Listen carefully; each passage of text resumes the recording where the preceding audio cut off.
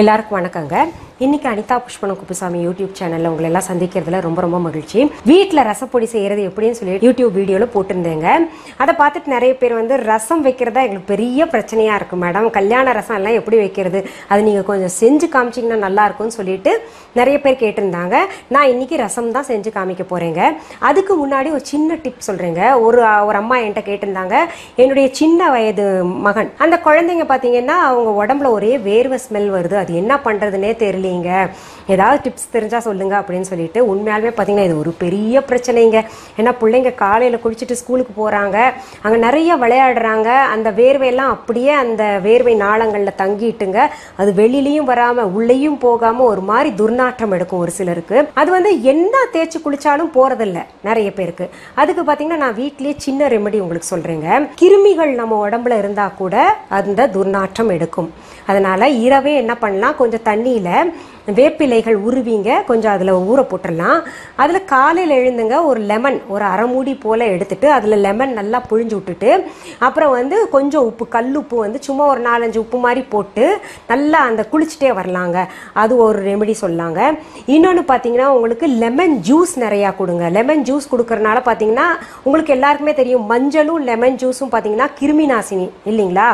அந்த குளியல் தண்ணியில் கொஞ்சம் ஒரு சிட்டிகை மண் மஞ்சத்தூள் வேணால் போட்டுக்கலாங்க. குழந்தை பொம்பளை பிள்ளைங்களா இருந்தாங்கன்னா மஞ்சத்தூள் போட்டுக்கலாம். ஆம்பளை பிள்ளைங்களுக்கும் செட் ஆகிற மஞ்சத்தூள் பார்த்தீங்கன்னா கஸ்தூரி மஞ்சள். அதையும் போட்டிங்கன்னா நல்லா மணமாக இருக்கும். சந்தனம் மஞ்சள் இந்த மாதிரிலாம் போட்டு குளிச்சுக்கிட்டே வந்தாங்கன்னா தொடர்ந்து அந்த வேர்வை நாற்றம் போயிடும் இன்னொன்று பார்த்தீங்கன்னா உங்களுக்கு டெட்டால் அவங்க துணியெல்லாம் குளிக்கிற குளிச்சு முடிச்ச உடனே துவைக்கிறதுக்கு முன்னாடி டெட்டாலில் அந்த துணியை கொஞ்சம் நேரம் ஊற வச்சுங்க. அப்புறம் துவைச்சா அந்த நாளடைவில் அது போயிருங்க. டெட்டால் போட்டு குளியல் கூட எடுக்கலாம். நாளடைவில் அந்த வேர்வை ஸ்மெல் போயிடும் இது ஒரு பெரிய பிரச்சனையே கிடையாது. அதனால் குழந்தைங்களே எதுவுமே சொல்லாதீங்க. பாவம் அவங்க சொல்லவும் முடியாமல் ரொம்ப கஷ்டப்படுவாங்க. பிள்ளைங்கெல்லாம் இல்லையா? ஒன்றும் சொல்ல வேண்டாம் அதெல்லாம் போயிடும் சரியாயிரும். சரி இப்போ ரசம் எப்படி வைக்கலாம்னு பார்க்கலாமா? முதல்ல ரசம் வைக்கிறதுக்கு தேவையான பொருட்கள் என்னென்னு பார்த்துடலாங்க. நல்ல பழுத்த தக்காளி ரெண்டு. பூண்டு பற்கள் எட்டு. பச்சை மிளகா ஒன்று புளி பாதி எலுமிச்சை பழம் அளவு. மஞ்சள் தூள் கால் டீஸ்பூன். அரிந்த கொத்தமல்லி இலைகள் ஒரு டேபிள் ஸ்பூன். கறிவேப்பிலை இலைகள் பதினைந்து. கடுகு அரை டீஸ்பூன். உப்பு தேவையான அளவு. எண்ணெய் தேவையான அளவு. நான் செய்த ரசப்பொடி மூணு டீஸ்பூன். முதல்ல என்ன பண்ணாங்க? ஒரு குக்கர் எடுத்துக்கலாம். குக்கர் எடுத்துட்டு அதில் இந்த தக்காளி இருக்கு இல்லைங்களா? அதை நறுக்கி போட்டுக்கலாம். பெரிய துண்டாவே போட்டுக்கலாங்க. இப்போது அதுலேயே புளி போட்டுக்கலாங்க. அதில் என்ன பண்ணோம் நம்ம நாலு பல் பூண்டு போட்டுக்கலாம். அதில் பச்சை மிளகா போட்டுக்கலாங்க. மஞ்சள் தூளும் அதுலேயே போட்டுக்கலாம். கறிவேப்பிலையும் போட்டுக்கலாம். அப்புறம் உப்பும் போதுமான அளவு போட்டுக்கலாங்க. போட்டு இப்போ தேவையான அளவு தண்ணி ஊற்றிக்கலாம் இதை குக்கர் மூடியால் மூடிட்டுங்க. இந்த குக்கரில் நம்ம அஞ்சு ஆறு விசில் வர்ற வரைக்கும் நல்லா குழையணும் இல்லையா தக்காளி எல்லாம்? அதனால் அது வேக விடலாங்க. நம்ம அந்த விசில் வர்ற வரைக்கும் பொறுத்திருக்கலாமா? அதுக்கு நடுவில் நம்ம என்ன பண்ணலாங்க? இந்த பூண்டு பொருட்கள் மீதம் இருக்கு இல்லையா? அதை சும்மா தட்டி வச்சுக்கலாங்க. சும்மா உடஞ்சா போருங்க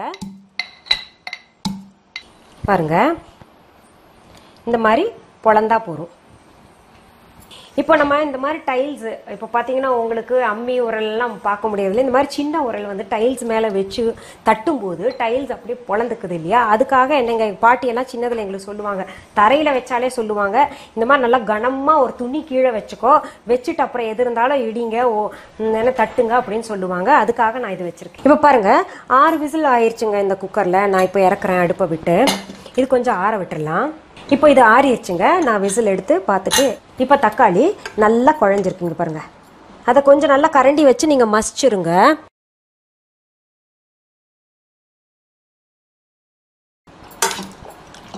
இப்போ நீங்கள் நினைப்பீங்க புளி அதுலேயே இருக்கே புளியை வந்து தனியாக எடுத்துடலாமேன்னு. நான் என்ன பண்ணுவேங்க அந்த புளியெல்லாம் அதுலேயே விட்டுருவேன் ஏன்னா அதில் ஊற ஊற பார்த்தீங்கன்னா அந்த டேஸ்ட் இன்னும் கூடிகிட்டே போகும். இப்போ பாருங்கள் மசிச்சிட்டோம் இல்லையா?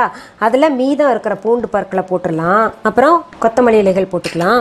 கொஞ்சம் உப்பையும் சேர்த்துக்கலாம். ரசம் தூள் வந்து மூணு டீஸ்பூன் போடணும்னு சொல்லியிருந்தேன்ல பாருங்கள்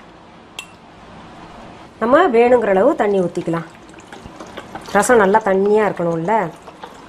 சொன்ன அளவில் நீங்கள் ரசம் வச்சிங்கன்னா ஆறு ஏழு பேர் சாப்பிட்லாம். இங்கே பாருங்கள் கட்டி பிடிக்காமல் எல்லாத்தையும் நல்லா கலந்துட்டேன். இப்போ நான் அடுப்பில் இதை வச்சுங்க திரும்ப கொதிக்க விடுறேன்.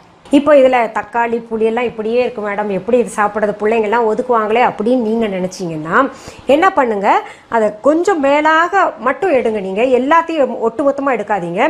சுவை குறைஞ்சி போயிடும் அது என்ன அதில் இருக்கிற மசாலாலாம் ஊற ஊற தான் ரொம்ப டேஸ்ட்டாக இருக்கும். அது கொதிக்கிட்டோங்க. அதுக்கு நடுவில் நம்ம என்ன பண்ணலாம்? தாளிச்சு விட்டுலாம் சும்மா ஒரு டீஸ்பூன் அளவு எண்ணெய் போட்டுக்கலாங்க. இந்த ரசத்தை நீங்கள் செஞ்சு பாருங்கள் இந்த பொடி வந்து ரொம்ப சுவையாக இருக்கும். இப்போது நிறைய பெண்கள் பார்த்தீங்கன்னா நமக்கு வருமானத்திற்கு வழி தெரியல என்ன பண்ணலாம் அப்படின்ற ஒரு சிந்தனையில் இருப்பாங்க. நான் சொல்கிற பொடிகள் எல்லாம் கொஞ்சம் கூர்ந்து கவனிச்சுட்டு வாங்க நீங்கள் சிறு தொழில் போல் நீங்கள் இது வந்து ஆரம்பிக்கலாங்க. ரொம்ப நல்லா போகும் உங்களுக்கு. ரொம்ப நீங்கள் செஞ்ச பின்னாடி உங்களுக்கு அந்த ஐடியா வரும். இன்னும் போக போக நிறைய விஷயங்கள் நான் சொல்லித் தருவேன். அந்த மாதிரி பெண்கள் அதாவது கணவனால் கைவிடப்பட்ட பெண்கள் இல்லைன்னா பார்த்தீங்கன்னா அந்த இளம் வயதிலேயே பார்த்தீங்கன்னா நிறைய பேர் கணவனை இழந்திருப்பாங்க. அந்த மாதிரி இருக்கக்கூடிய பெண்கள்லாம் இந்த மாதிரி சிறு தொழில் இதை வச்சு செய்யலாங்க. நல்லா உங்களுக்கு வருமானம் போதிய வருமானம் கட்டாயம் வரும். இப்போ பாருங்க. எண்ணெய் சூடாயிருச்சு. அதில் நான் வந்து கடுகு போடுறேன்.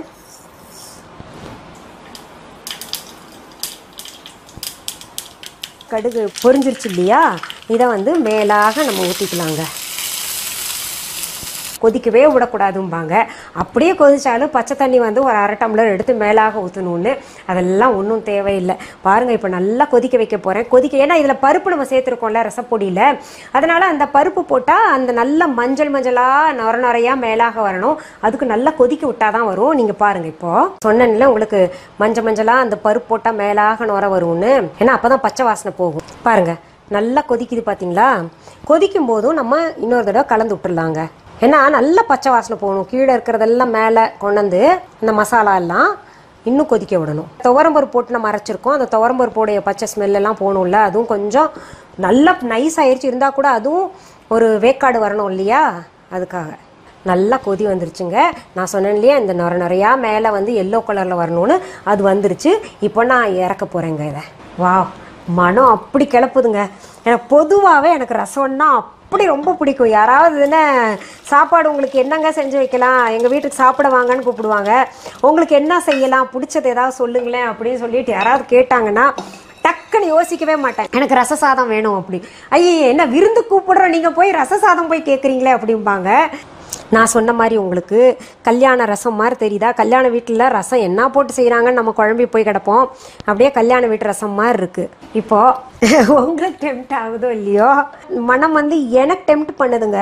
ஸோ நான் கொஞ்சம் போட்டு சாப்பிட்றேன்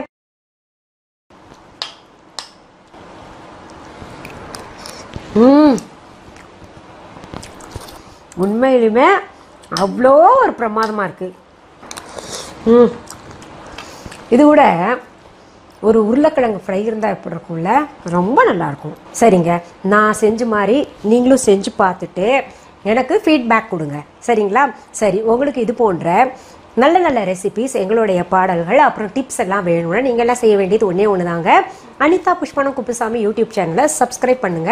பக்கத்தில் பெல் ஐகான் பட்டன் காமிக்கும். அதையும் டச் பண்ணி விட்டுருங்க. அப்போ தான் நான் வீடியோ அப்லோட் பண்ணுறது எல்லாமே உங்கள் நோட்டிஃபிகேஷன்ஸ்க்கு வரும். நீங்கள் பார்த்து அதை செய்து பார்க்கலாம். சரிங்களா? மீண்டும் சந்திக்கலாமா? நன்றி வணக்கம்.